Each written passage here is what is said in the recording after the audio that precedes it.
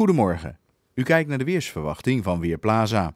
Er ligt niet veel bewolking boven Nederland, maar in de aanvoer boven Frankrijk wel. Dat komt langzaam onze kant op. Daar hebben we in de ochtend nog niet veel last van. De zon schijnt geregeld, het is ongeveer 15 graden en er staat weinig wind.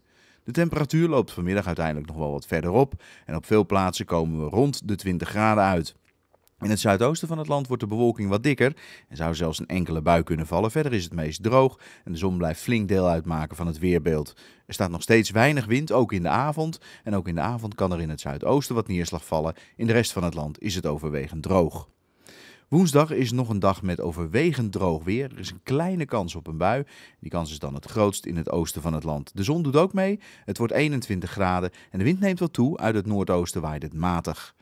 Dan donderdag krijgen we te maken met een paar stevige buien en vooral in het oosten en zuiden kan het ook onweren. Voor de buien uit wordt het ruim 20 graden. Na de buien is het op vrijdag een graad of 17 en ook op zaterdag halen we dat soort temperaturen.